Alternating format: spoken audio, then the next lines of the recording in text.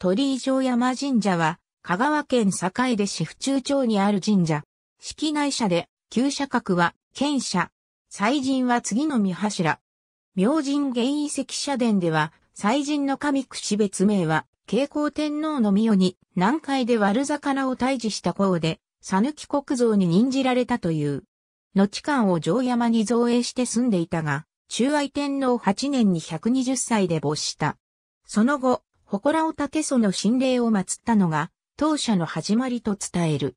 神串別名に関しては、日本書紀にも、神串王は、讃岐国像の祖であると記載されている。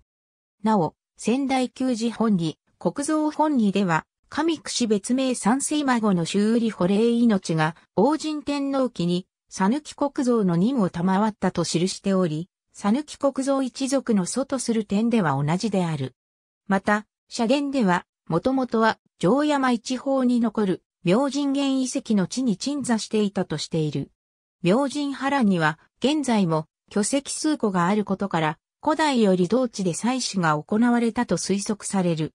国史では、日本三代実録上岸元年城、上岸七年城に、城山神に対する深海少女の記事が見える。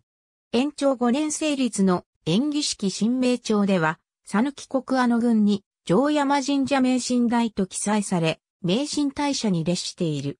讃岐国の名神大社は、当社のほか、田村神社、属性神社の計算者のみになる。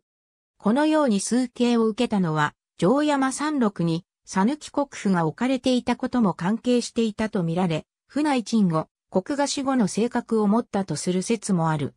関係文章によれば、任内4年に、讃岐国士の菅原道真は、城山神社で、降雨祈願を行っている。祈願は成功し豊作をもたらしたという。中世の様子は不明であるが次第に衰退したとみられ、その後上治元年の細川頼行、清志氏の合戦の陛下で消失した。そのため身体のみが陰薬の地に移されて少子が建てられ、後現在地に移された。明治維新後、近代社格制度において権者に列した。境内抹茶を受け、天満宮境外抹茶所在地交通アクセス周辺。ありがとうございます。